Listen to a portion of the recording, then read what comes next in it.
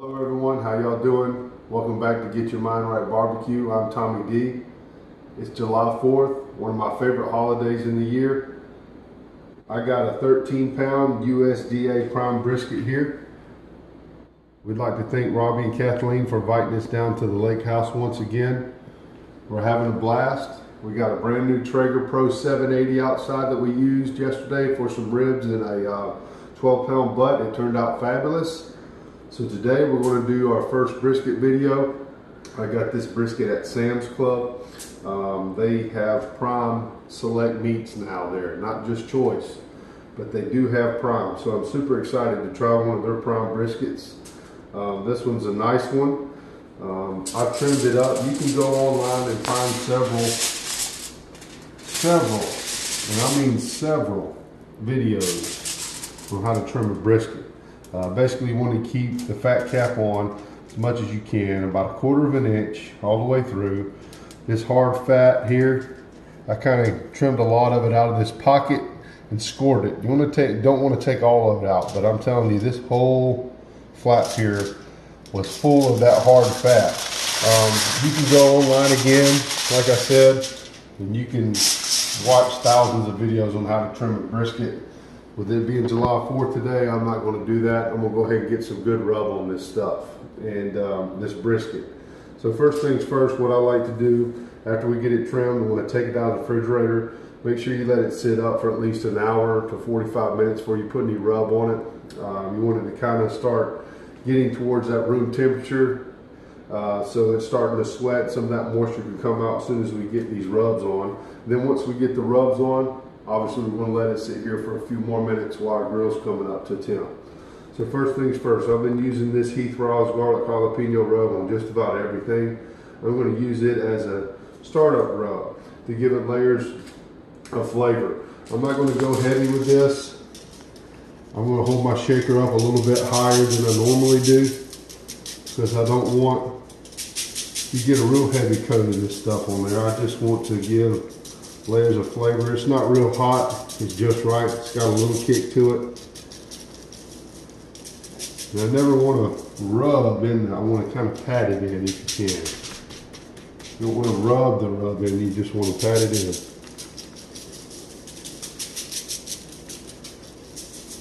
Make sure you get the size. And I'm not, as you can see, I'm not using a binder today. I really don't use, you can use one if you want. Um, I'm out of duck fat spray. Could use some duck fat spray as, you, as you've seen me use in the past. But I'm out. I used it yesterday. Gotta get me some more. But you can use oil, you can use mustard. Um, you know, if you let this piece of meat, this brisket sit out for quite a bit, it's going to start pulling some of that moisture out. Now that we've seasoned that one side with the garlic jalapeno, I just want to give a light dusting on that fat cap. Want to make sure you give it a good even coat, you know. Make sure you get down into those pockets. Again, I scored that hard fat so I can kind of render down. It's going to be hard to render it down. We want to make sure you score it. So it will. All right, that should do it for the Heath Riles garlic jalapeno rub. First, we're going to give it a good coat of our base coat, the Mojo Beef Rub. Shout out to CR's Louisiana Barbecue on uh, Instagram, Facebook. I won his giveaway a few weeks back and he sent me a bottle of this Mojo Beef. I'm super excited to try it out. Um, I also got another bottle uh, from Miss Ellen at AtlantaBarbecueStore.com. That's where I got both of these rubs. You can find her, like I said, Instagram, Facebook, AtlantaBarbecueStore.com. Go check them out. So we're going to give this 13 pound prime USDA brisket a good dose of this Mojo beef. And make sure you shake these uh, shakers up, folks. You don't want your seasonings and rubs to get clumped up. We're going to give this a good shake. A little bit more than we were with that base layer of Heath Riles garlic jalapeno. What I like to do is tap it down so it comes out more evenly. Make sure we get it down in there. You can get, see where I scored that hard fat. Get some good rub down in there. Make sure you get all the sides as well too, folks. You gotta get those sides. We're gonna, this brisket's gonna render down from 13 pounds. So we wanna make sure everything's covered up so we can use, utilize this whole piece of meat. Okay, let's pat that in. Give it a flip. Come on, big boy. Man, that looks outstanding. You can already see that garlic jalapeno coming out, bringing that moisture out of the meat, starting to glisten. Let's give this side a good shake.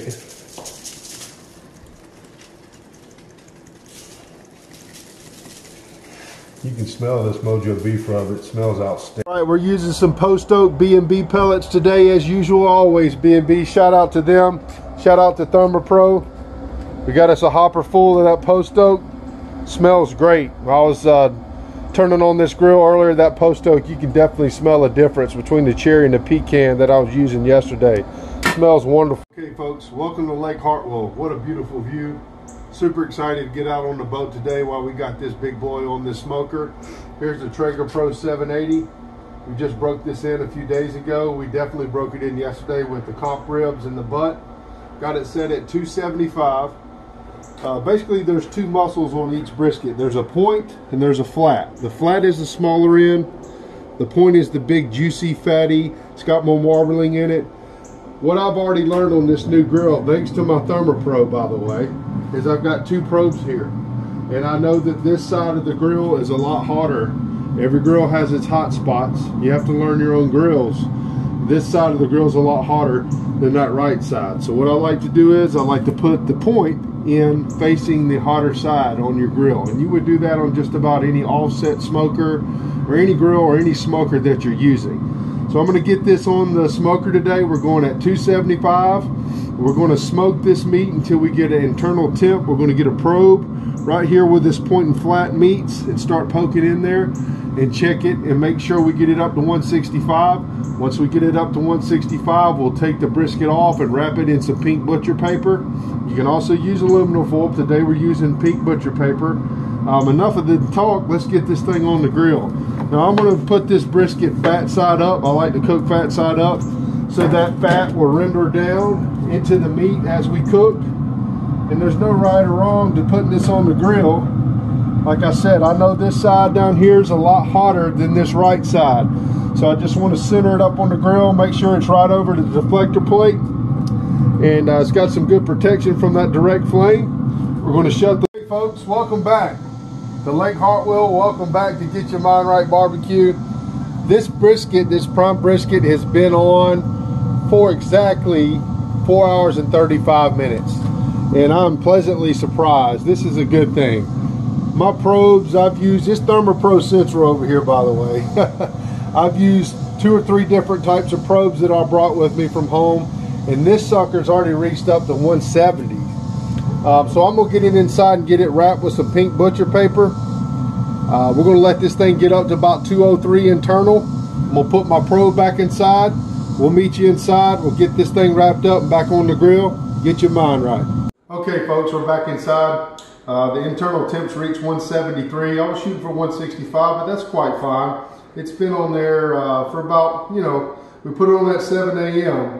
So we're looking about four and a half hours, a little over four and a half hours on the smoke. But as you can see, if you can zoom in here a little bit, Bay 2, you can see this bark it's created. I mean, the rub's not coming off that beef mojo and that Heath Riles garlic jalapeno. I've gotten to taste a little of this au jus, and it looks wonderful. So stay tuned, folks. We're going to get this wrapped up in pink butcher paper, and I'll show you how we do it. Okay, folks, I add a little bit more beef mojo to it just to kind of dry it out before I wrap it. Uh, you can see all this, uh, these juices just flowing out of here already. So basically, if you're new to this, if you're doing your first brisket, I recommend using aluminum foil. The aluminum foil creates a better seal than this pink butcher paper. Um, and it holds all those juices and all that moisture from this brisket. It holds it inside. It's a whole lot easier to maintain and keep it juicy. Now, when you're talking about the bark, we set that bark, we put a lot of hard work into setting that bark, and that's a lot of flavor on the outside of the meat. So I like to use pink butcher paper.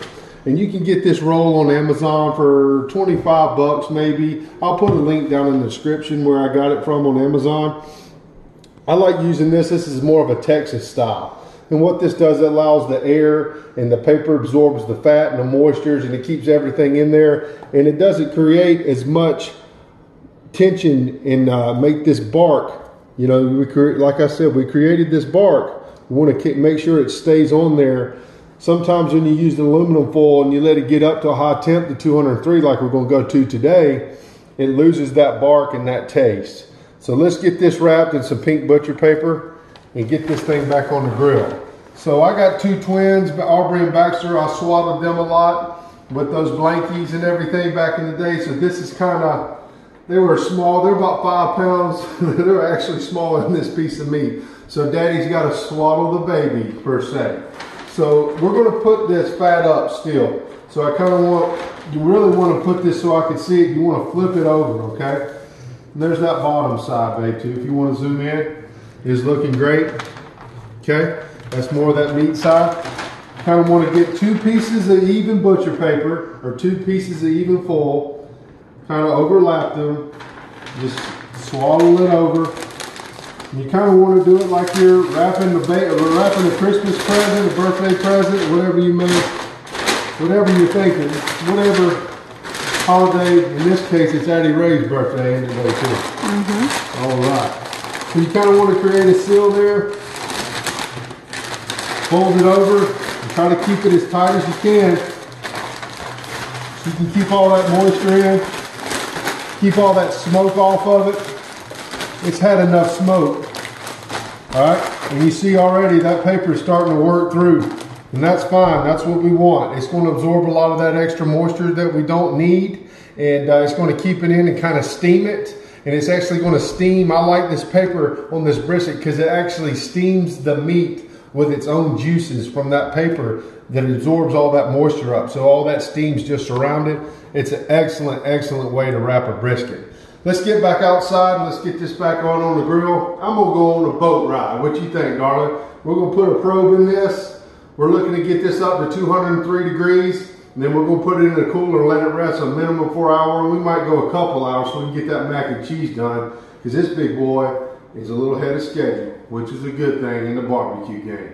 Get your mind right. Hey folks, welcome back. As you can see, I still got it fat side up. That shout out to Thermopro. I got one on my grill grates monitoring the, the grate temp, and I got one inside. Basically, when you insert this probe, you want to kind of find out where that point muscle comes and where that flat. You want to go down just a little bit into that thickest por portion of that flat and get your probe in there. I use the same hole that I used before. It's running at 172. That 205 is going to jump back up. We're going to keep running to about 250, 275 range. You can cook these on any offset smoker, indirect heat. Just make sure you're keeping your uh, temp steady within a 15, 20 degree margin. Let's close this lid. If we're looking we ain't cooking, welcome to the lake. We're gonna have some good brisket today, get your mind right style. 203 is what we're shooting for, folks, and I'm gonna get my little probe here. And basically, I'm gonna start poking holes in it. I'll show you a little bit later for tenderness. You'll be able to feel it once you do this long enough. You'll be able to feel the brisket being done. Not so much with the temperature. But these things right here, they're a lifesaver. Thank you, Thermopro. Get your mind right. Okay, folks, it's the moment of truth. Uh, we've wrapped this brisket. It's taken about 10 hours and 30 minutes total to do this whole brisket at 275 on a 13 pounder. So it does cut the time down a little bit. Um, I'm very happy with that. We'll just wait on those results until I continue doing it at 275 versus the 250, 225 range. So I got this thing up to about 200, 203 degrees. But basically what I like to do is to get another thermometer, not necessarily look at the temperature, but kind of get feel for it. And it's not going to hurt it poking a few holes. And if that probe goes through that beef like butter, then you know you're ready. I mean, even up here in the point, it's nice and all that marbling, I can already tell it's gonna be great. So I'm gonna get this off the grill, off the smoker, excuse me. We're gonna get it in a dry cooler. We're gonna let this thing sit up and rest for a minimum of one hour. We have to let it rest for an hour. I know it's hard to do sometimes. You can go two or three if you need to be. It'll still be nice and warm. All those juices will settle back down in the meat. Stay tuned, folks. Get your mind right. Okay, moment of truth here. Let's slice this brisket up. 13 pound USDA prime brisket. Uh, was on the smoke for about five and a half hours at 275. Then we wrapped it in the pink butcher paper and let it roll for about another uh, about five hours. So it was about 10 and a half hours total. Um, I let this thing rest for about an hour and a half. I can't stand it.